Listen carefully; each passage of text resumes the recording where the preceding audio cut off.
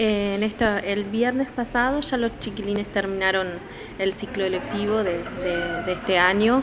Eh, se adelantó un poco por el crecimiento de, los casos de, de COVID-19.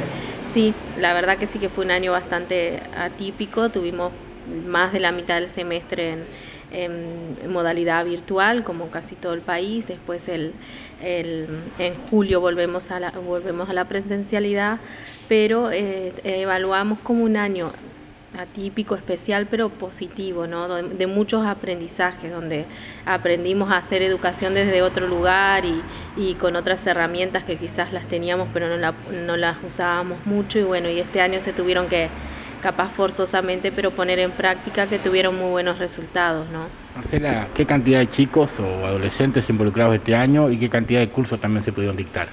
Sí, nosotros tenemos una matrícula de 160 jóvenes.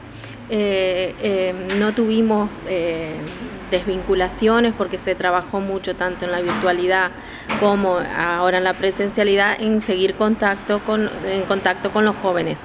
Eh, se trabajó para que ellos pudieran trabajar de forma virtual y si no tenían, por ejemplo, cómo acceder a la, los datos o al internet, se, ellos se les dejaban materiales, ellos venían a buscar.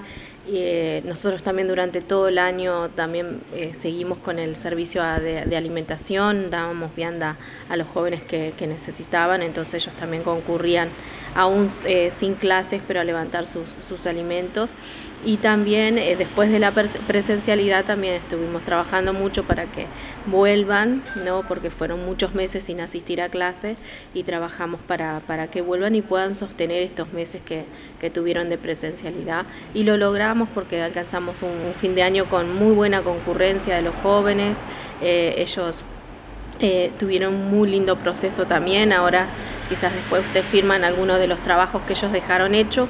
Este año no pudimos hacer ni fiesta de cierre ni exposición al público por los motivos que, que ya sabemos, pero sí los jóvenes hicieron un proceso de, de hacer trabajos finales para que se vea lo que ellos vinieron trabajando durante el año.